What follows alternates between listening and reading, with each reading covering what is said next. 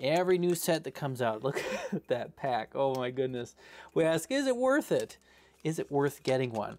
And man, if you are a game, a TCG creator, and you can get past that point where, you know, people just don't ask that question as much. They're just excited to buy the new set and they're going to go get it no matter what.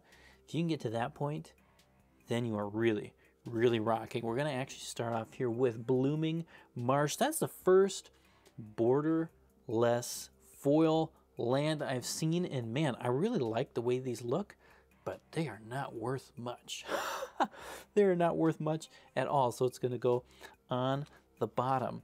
And you know, that's really the thing that hits for most people. You just saw it kind of flip through a bunch of different rares and whatnot. But that's the question you often ask yourselves is if it's worth it. When it comes to collector booster, are you getting your monies back? Are you getting your value back? But you know, for me, that question is just a little bit too obvious. It's a question we always ask, you know. Of course, if you can buy a box of any game and you're going to make your money go woo, woo, woo, way high. Ooh, look at, oh, Geralf there. That's actually a nice one. Look at that Mythic. He's a Mythic and he's a foil, so he'll probably curl a lot. I'll throw him down in a sleeve, right? But obviously, if you could buy a box for $200 and on average you're going to open 250 300 whatever it is, yeah, of course you want to get it or if you know next week the price of the whole sealed case is gonna just jump up, sealed box, yeah, of course. But so for me, what's more interesting is, you know, even if you don't make any of your money back, right? Even if you are gonna lose a bunch of money, that's a nice reanimate with a mana drain. Oh, I guess we're not gonna lose too much in this box opening. That's two in a row, two boxes in a row with mana drain. But let's say that we didn't get that. Let's say that we got just lots of things like this. I don't know how much breaches is worth. I do, I like this frame. I like it. I actually like it. You know, as much as I talk about how many frames and stuff, I think I the wanted posters, I like them. I do like them. But how much, you know, do you actually enjoy opening the packs? We get so stuck on the money thing. And because these cost so much, right? When you're looking at over $200, it's harder. Like it, you, your enjoyment level has to be higher than your normal average booster box in a TCG for you to be able to justify the price for it. Oh, cool. Look at that steed. You know, so for me, it's like I like opening cards. I love seeing it. You know, now, of course, with this kind of a product, right, I'm not opening it with, wow, what's the cool game or different things I'm going to play with it because, man, Gerwolf, Gerwolf, I don't know how you say his name. He's here twice already. But you know, of course, if you want to just play, you can get Geralf for less. You can get the cheap version, very easy. You don't have to open collector booster packs. So again, when I'm opening these, I'm not thinking, wow, now I can really throw down Thornado. Of course, you know, that's why it says collector pack on it. It doesn't say play booster on it. See, now they've made it very clear which one you play with, which one you don't play with, in case anybody was lost in the past. But again, how much do you actually enjoy the process of opening packs, of collecting cards? You know, another nice reanimate, but here, Stella's again showing up. Forgot to put her in the mythic pile. This is like a duplicate pack, I believe, from the last uh, opening. Stella Lee we had a reanimate. We had a World Waker helm in this version. It did not have a Harvester of Misery, though. Oh, look at that one. Big score. Foil. I'll sleeve it. I'll sleeve it. Why not? I don't know. Essence capture. And here, you know, again, this is where it comes down to how much do you really enjoy this process. If you're thinking about getting a box and you just want to do this, which I've, I've done a couple times in this video because I'm talking, but if you just totally want to skip everything here, then you know maybe it's just not the right thing to do, right? Like if you actually enjoy getting some of the cards, yeah, sure, they're not super valuable, but oh, but you think, wow, I actually like getting that land, and oh, you know, these are kind of cool to have, and I want to put it in a binder, and you enjoy that collecting process, right? You enjoy the collecting process of it, then it, it just makes it more worth it.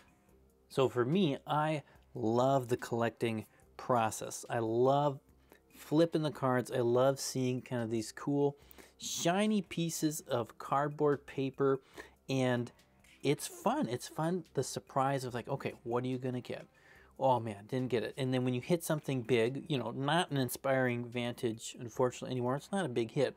But when you do hit something big, it's it's so much more fun for me, that experience, than it is if I just go and buy something outright, buy a single outright. For example, in the first collector box I opened here in the channel, I got this Sword of Wealth and Power foil showcase variant, and it's really cool. I loved opening this card. It was way more fun than if I decided, you know, let's go spend $90 and buy it. If that is not true for you, if you immediately think, you know, I have almost no joy with that opening experience or the opposite, it actually makes you kind of mad and you're like, I'd rather just buy the card, then yeah, you know, it's not worth it. Don't do it.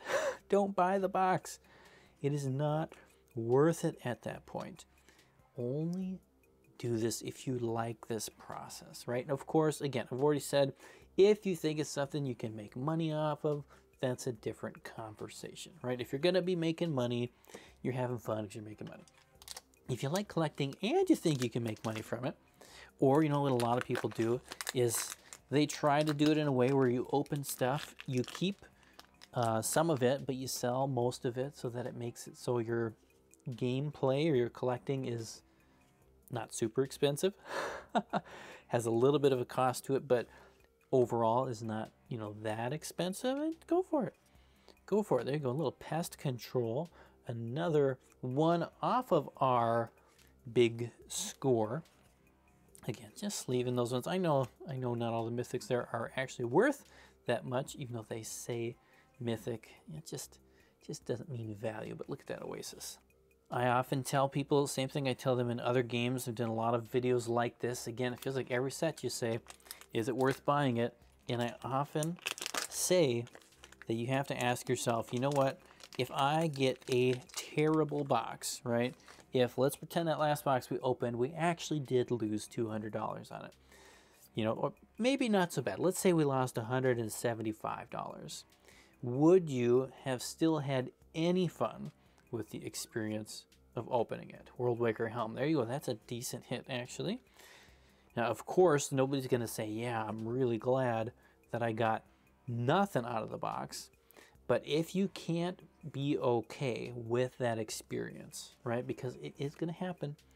It is going to happen at different times. You're going to see the person next to you open up $500 in their box, and in your box, you're going to open up $30, $40, $100 happens all the time, right? If you are not okay with that experience, they shouldn't do it.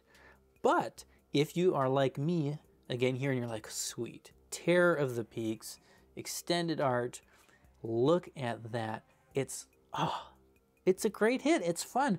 And it's so much more fun for me that I opened it than if I just went and bought it. It's just not it's not the same feel. Anyways, that's how I feel. Ooh, look at that one. Eris, Roar of the Storm. Have not seen, that's my first foil, I believe, from the Commander series there. So we'll throw that one down there. We'll extend art, Pillage the Bog. That old Tumblewag, oof. Every time I see that, man, I think I'm glad that I'm not in that situation. Every single time. I don't know why I have to think that same thought. Now, I definitely do not think that it is worth, at least for me, opening collector boosters of every Magic set. Uh, I've said before too, but I'm really planning on sticking here Magic going forward to kind of narrowing down the sets that I interact with. Territory Forge, it's cool. But I want to only open up the sets that I really, really like. Right? There's just too many products, too many things happening, too much going on. It's like I'm not even going to try to keep up. And I actually have more fun. Look at that Plunderer, that's a decent hit. I actually have more fun. There we go. Why not throw in another one from the big score territory forge? Like I'm gonna I think I'm having more fun with magic by just being super picky, picking and choosing the sets I like the most, and just focusing on them, kind of ignoring the rest. Uh, you know, I haven't I haven't looked at a set where I was like, hmm, I really like that set since uh, Wilds of Eldraine.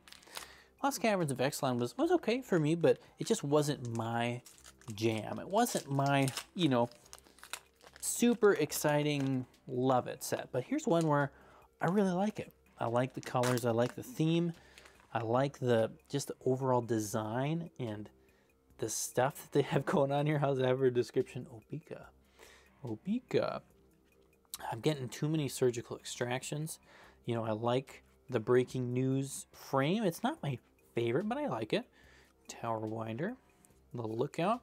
And of course, I'm excited. There's going to be a couple more sets coming out this year. Modern Horizons 3, Bloomburrow. Like, I'm just going to pause. I'm going to focus on those ones. And if it's a set where I look at the set and I think, you know, I just don't really want to collect that set. Even if I'm not going to actually try and collect the whole set, if I look at it and I think, man, you know, even if I had endless money, I just, I don't even know if I'd care or I'd want that. You know, then I'm going to just kind of ignore it and skip it. And I do, I want to open, we're going to open another one here, but quick recap on this first, you know, box. This is not like your super winner box, but with a mana drain, Terror of the Peaks, you know, foil extended, the best, that's the best one you can get, right? Pretty decent box. Let's try another one. So we're gonna try out here box number two of the video. And again, ah, I just, I do really like the box design. It got me, it definitely got me this time. It got me excited oh, about trying this set. Look at those packs all come out. Whoa. These are cool, they are cool. Too expensive though, too expensive, right, to just, just buy one to put on your shelf. I don't quite, I do not quite suggest doing that. But hopefully here we can get one of those really fancy uh, showcased raised cards. Fun cards, little smuggler's surprise. Dominus Foundry. There we go. It's our first non-foil one of those. I do I like that Duelist of the Mind. I want to build the train, right? I want to build the train. That's one of those little things where it's like I I want to see it. I want to have it. I want to collect it. Again, like a, you know, a question you can ask yourself is, is it a set that you would like to see in a binder?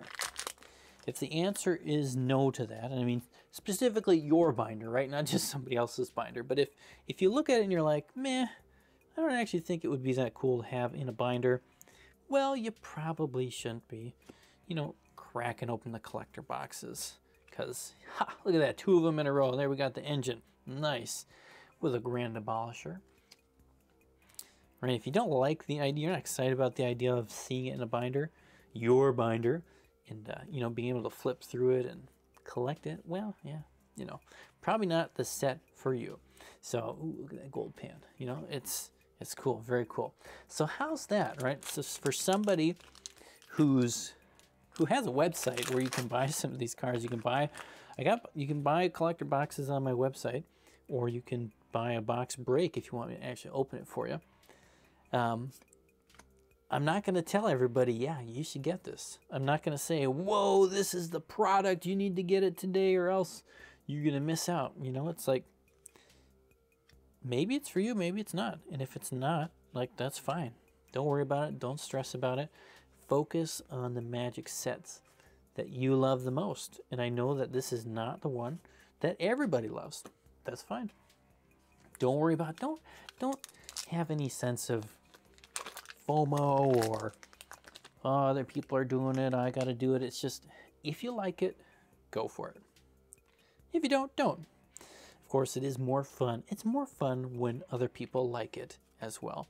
And I think for me, actually, that terror like the th biggest thing that holds me back from collecting more magic, I don't know if it's the biggest, one of the top big things for me is just the fact that I don't really see other people doing it, right? I don't see other people showing off their master sets. I don't, I don't hear a lot of people talking about collecting sets and different things.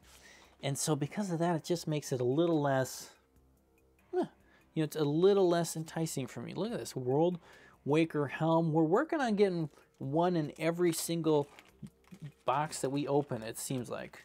This time we got the foil variant. First time we've seen the foil version. Nice to have that. Oh man, getting my piles messed up. Here we go, another one of those showcases. This time it's the Generous Plunder. That's cool. That's a cool looking card. I like that variant. That is very cool art. Man, it's the kind of art where you gotta kind of pause and take some time to look through it, see what's going there on with his cloak, followed by another mythic. Look at that, it's a cool memory vessel. I like the look on that one. I have seen people mention too how it's difficult to get just your normal, like regular set mythics in these boxes. And look at that. So these are all, you know, they're all mythics. You know, you can use whatever word you want with those mythics, but we've got uh, zero, right? We've got zero from the main set. I thought we had one, but it was another big score one there. So it's interesting.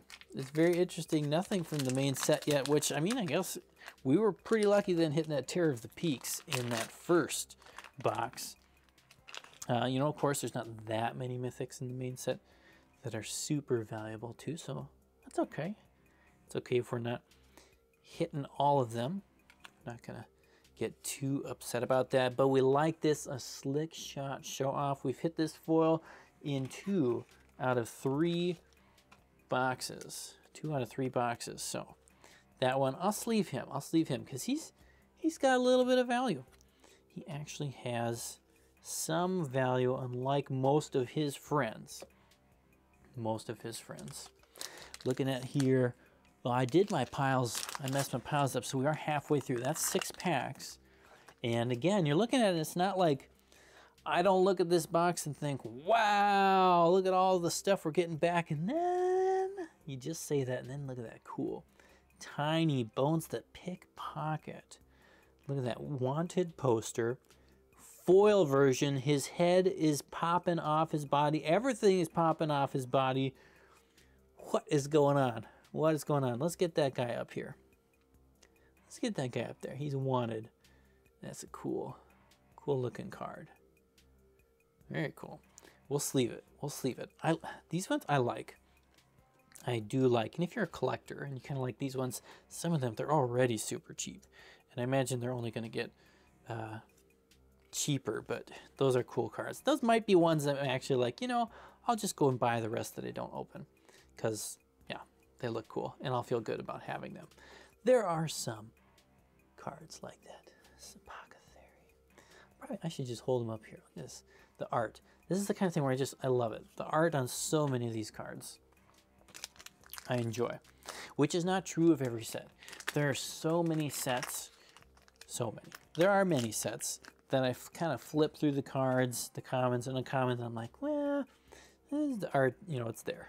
It's there. But this set, oof, most of it, most of it I like. Look at that Territory Forge.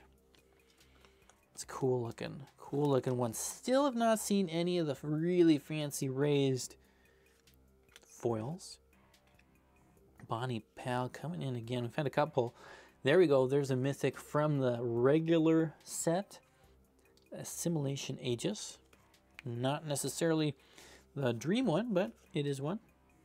And so many of these lands. Lava Spur Boots. That's the one, one card in that uncommon slot that has, you know, more than 50 cents.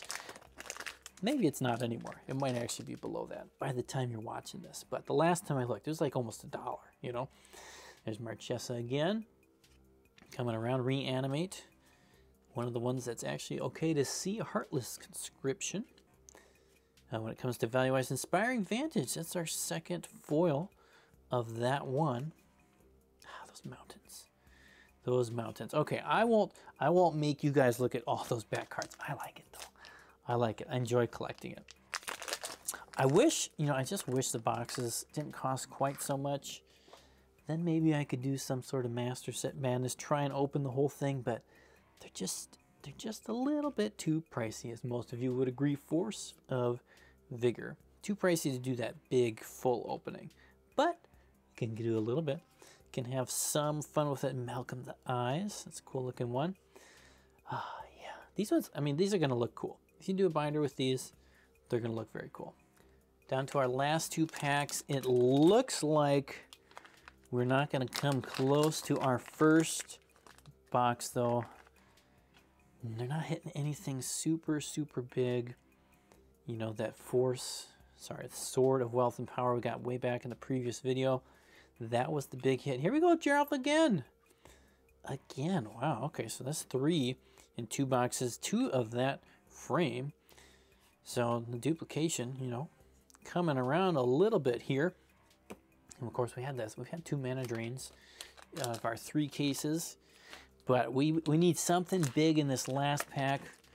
Otherwise, this is probably looking like one of those boxes that's like, mm, you know, you gotta be okay that maybe it doesn't hit $200. And look at that, our very first special guest scape shift. Scape shift. That I believe that's the first special guest I've opened yet out of anything in this set. Foil, extended art, borderless, one of those two. Scape shift. Wow. Look at that. Very, very nice. I have no idea what that one is worth, but a nice, nice hit to close off with Yuma. Speed and Annie joins up. And then you slowly make your way through the end of the box. Oh man, I don't know. What is that scape shift worth though? That, oh, you see, and you get a card like this, and this is where the temptation comes. It's like, well, you know, you should probably open another one, but you gotta be careful. You gotta slow down, take your time. So I looked it up, and that scape shift is like 35 $35 at the moment, the foil version. Oh, Geralf, he's not doing much though. His showcase variant there's like $5. So nothing too exciting from him, but you know, I just thought, I just want to open one more. One more. We're going to stop at this one more. We got a little mind slaver there. Not the right mind card though. I get the other one. And you know, the Terror of the Peaks, he's like at $50. So that's what I'm recording right now. That's what I'm recording right now. But I still, I want to try one more. I want to see if we can get one of these fancy, fun, raised cards. One. Take one more shot. That's the last shot that we're going to take today. Caustic Bronco. Rest in peace. There you go. Look at that. Have not seen Rest in Peace yet. Man, they put so many different cards in this big score list. All these different bonus lists they have. That man, it, it takes a lot. You got to open a lot of packs if you want to get something specific. So that rule as always stands. You know, don't go hunting for one specific thing. Oh man, second one of those, second one, that one was not worth much. Let's put it that way. Ooh, look at Olivia there. Okay, got that little extended art on Olivia as well. Extended art borderless. I get mixed up sometimes though they the board they, those two those are my favorite variants for magic the gathering. For pretty much any game they're simple but they're clean and they just ah, they look good. They feel like the game that they're coming from. They're just all around the way i like it the way it should be. Obeka again. Ooh, journey to nowhere. That's how this box is feeling. Did we make a mistake? Did we make a mistake on box number three. Eh, maybe. Maybe this should have been the one I did for the 200 video concealed courtyard. Again, I like the card. Not worth much. Contagion engine. Okay. Okay. Again, you got to be okay. Simulacrum synthesizer, though. It's got a little bit. It's got a little bit of value on that. Rakdos joining up. Does not. No matter what we end up getting. Oh, in this box, look at that. The Lost Jitte. Look at that. Our open vault variant. It's a foil. It is a foil. It is not raised. Again, we have, man, we have not been able to find that raised version. That one's got to be super rare, but look at that. Oh, cool. So we got that and the sword. Oh, oh, not bad. Not bad at all. Look at here and who we got sneaking around in the back. Mr. Oko the ringleader himself in foil. Very cool. Very cool. Look at that one pack. That one pack was better than everything, the first four packs. Wow. Wow, wow, wow. That that is one reason though. You know, if you're gonna buy some collector boosters, sure, you know, you can always throw a risk at one. But man, I don't know. For me, it's like I want the whole box so that I don't miss that one pack that has seems to be there's the packs that have the good stuff have the good stuff. I have not found oh bristly bill. I have not found in my very you know so many opening boxes here, but it just seems like the few that have had the really good stuff have had like three, four of them packed together. Uh, pretty sure. I'm pretty sure some of those other boxes or packs that were good, like the very first one we opened, first Mana Drain also came with another $17 card or something in it. It's like, okay, that pack was $49 and the packs all before it were zero. you know, so it's like really tough just picking one pack out at a time. I always like getting them all. Omen Path Journey. Yeah, that one's okay. That one's okay. But, okay. Four more packs and the excitement came back up. Excitement came back up. Anyways, if you like this, if you enjoy Master Set Madness here, you like seeing too many surgical extraction, uh, $3 foils being open, make sure you hit that like button. Let me know. I need a few more likes to know, see even know if I can even keep doing magic on this channel. Got to get some more people in it. Got to get through the algorithm to hit the right crowd. And of course, if you want to do a box break or something, let me know. You check it out over my website, mastersetmadness.com. Has everything there available for you from Thunder Junction and we'll see. We're going to see. I'm kind of testing see how it goes with this set, whether or not uh, keep doing box breaks and different stuff going forward. I'd like to because I like opening these boxes. But uh, I'm probably going to stick, no matter what, I'm probably going to stick to my favorite sets. So sets like Modern Horizons 3 and Bloomburrow. That's the stuff I'm looking forward to this year. Um, you know, if it's a set that I'm just, yeah, not, not thinking so excited about, just to kind of skip it, thoughtseize, and having, having more fun that way. Having more fun with magic. There's the memory vessel. First one of those we have found. Pillage the bog. We got one more pack, one more chance. One more chance. Come on. Raise up the foil raise up the foil. I believe, I don't actually know, but it should be in this first slot, right? If it's there, oh, it's the Gitrog, Ravenous Ride. Okay, he's a cool looking card, but he is no, he's no raised foil. But we're okay. We're okay with that. At least it's a, at least it's a mythic in the last pack. Look at Gonti. Oof, that's a cool one. Oh, the gold ah, it's the art like that. Stuff art like that is just oh, it's good. Malcolm. You're okay, Malcolm. Great train heist. That's our last rare. Again, though, there was one pack that really made this shine. It would have been not so fun had that pack not been there. Wow. Still fun. Fun opening. Hope you're enjoying this set. We'll see you next time. Peace.